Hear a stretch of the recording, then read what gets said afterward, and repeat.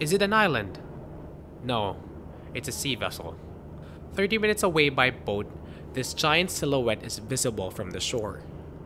This is the USS Ronald Reagan, docking in Manila for the first time after patrolling unhindered in the disputed South China Sea.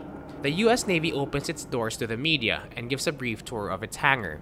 The USS Ronald Reagan is a Nimitz class aircraft carrier with 5,000 officers and crew on board. It's a sea vessel, but it feels like a fortress. The ship is equipped with missiles, guns, and the latest in electronic warfare.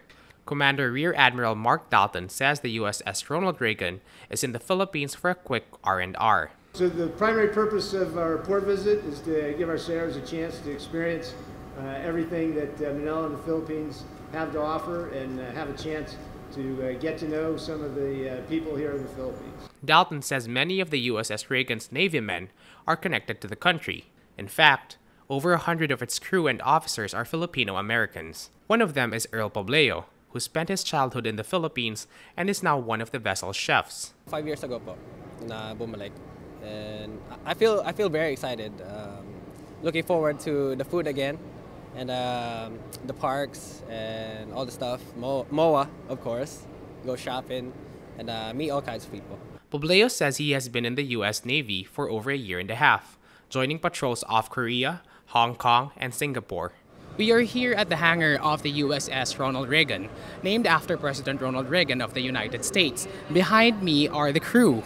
They are off for what they call Liberty, where they go to the country and they go around and have fun and as their commanders said it to get their time off and here at the hangar too are the fighter jets that they deploy when it comes to patrols and also in times of conflict peace through strength this is the motto of the USS Reagan and the underlying reason for its visit before Manila Dalton says the USS Reagan went around the disputed South China Sea as part of its annual patrols in the Indo-Pacific region.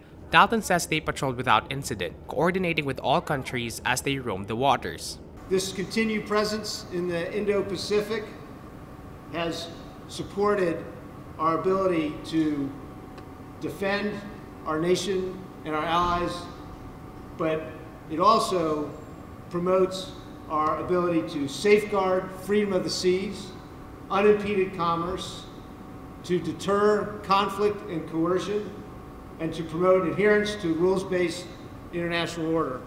Satellite images show China has built over 1,600 structures in the disputed waters, with 800 of these located in the part of the sea that belongs to the Philippines. The USS Ronald Reagan is the third aircraft carrier to visit the Philippines in 2018, in the middle of rising tension in the region.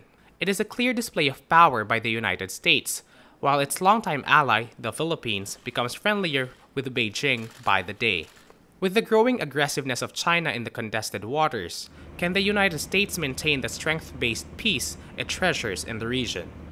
Rambo Talabong Rappler, Manila.